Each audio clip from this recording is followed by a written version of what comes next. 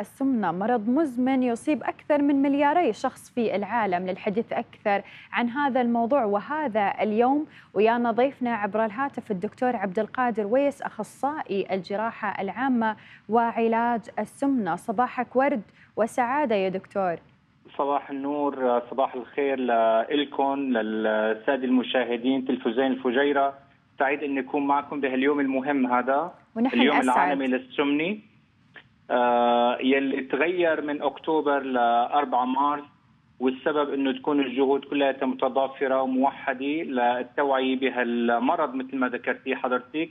اتفقنا نحن هلأ إنه خلص البدانة صارت عبارة عن مرض صحيح. آه، أو أو متلازمة ومرتبطة فيها مجموعة من الأمراض اللي نحن إذا. عالجنا فيها البدانة ممكن إنه نتخلص من طيف الامراض هي.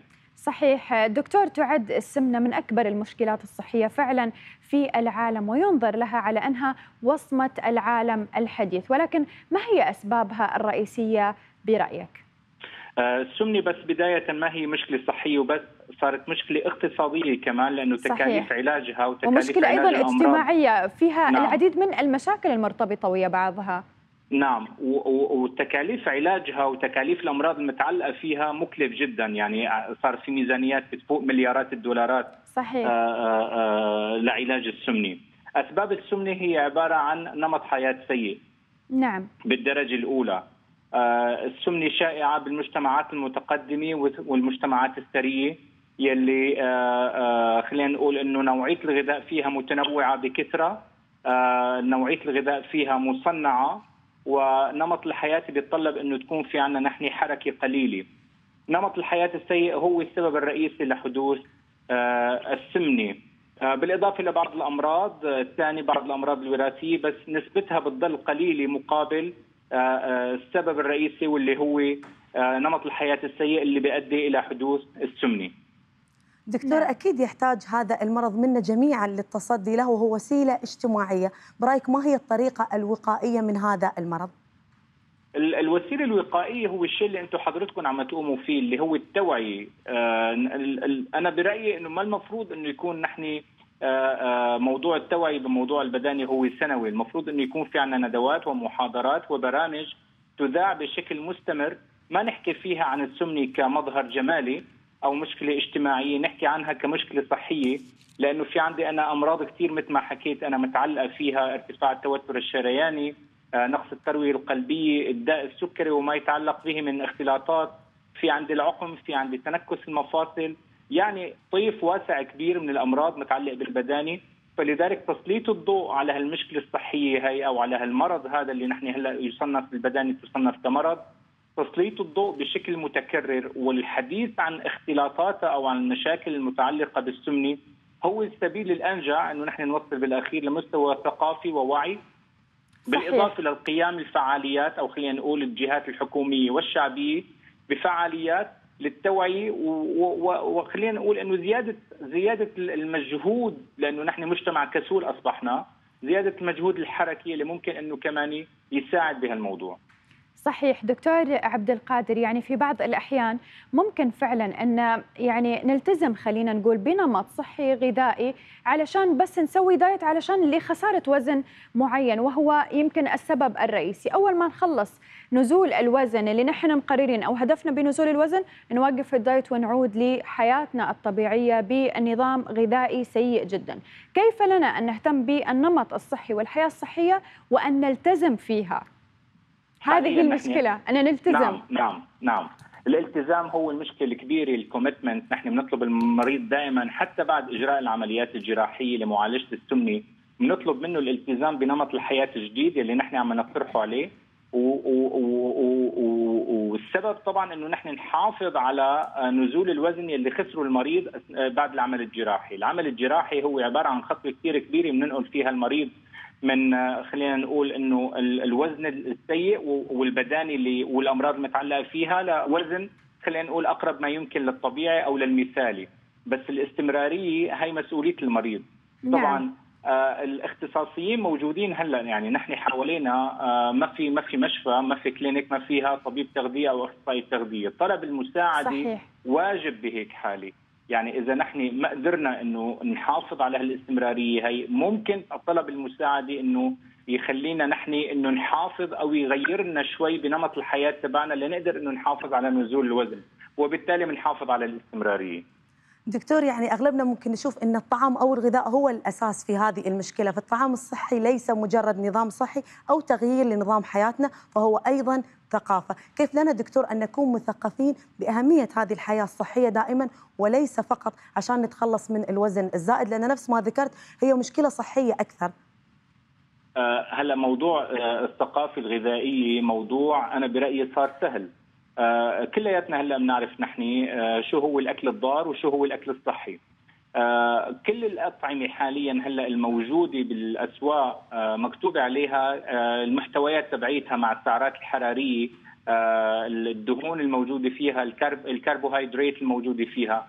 نحن لازم نصير نبدأ بقراءة هالملصقات هي أو خلينا نقول هالمعلومات هي ونختار يلي بيناسبنا. صحيح. آه على كل على كل الأحوال يعني الموضوع ما موضوع معقد؟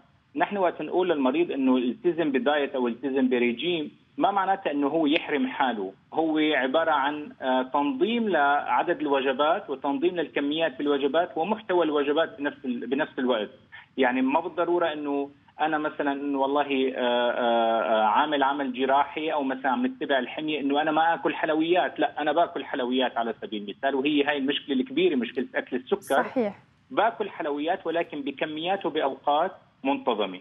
صحيح. دكتور في أشخاص دوم نسمعهم يقولون نحن يزداد وزننا بشكل فظيع وأنا كليت مرة واحدة البارحة. آه، مشكلة فعلا أن الواحد يأكل مرة واحدة في اليوم وليس أن يقسم الوجبات على خمس أو ست وجبات صغيرة. خبرنا أكثر عن هذا الموضوع وهو الموضوع الذي فعلا يؤدي أيضا لزيادة الوزن وتراكم الدهون وأيضا الذي يؤدي إلى السمنة.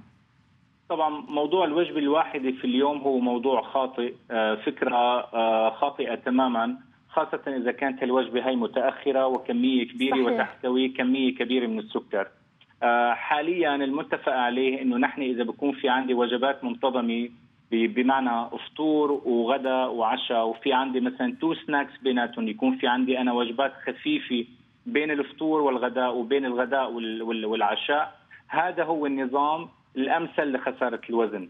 موضوع الوجبة الوحدة بخلي في عندي أنا آه، نظام هرموني معين يتفعل بعد تناول الوجبة والإنسولين بيميل هون ما لأنه يحرق بصير بصير في عندي أنا لا تخزين للسكر كمية السكر الكبيرة يلي هي عم تفوت بهالوجبة هي على شكل دهون فلذلك بنلاقي إنه نحن الوجبة الوحدة ما بتفيد خاصة مثل ما حكيت إذا كانت كبيرة ومحتواها عالي من من السكر ومن الكربو الكربوهيدرات نعم. أو من المواد النشوية نعم. فلذلك أنا اللي بنصح فيه دائما إنه يكون نحن في عنا فطور غداء عشاء ممكن نتخلى نحن عن وجبة العشاء ويكون في عندك two snack.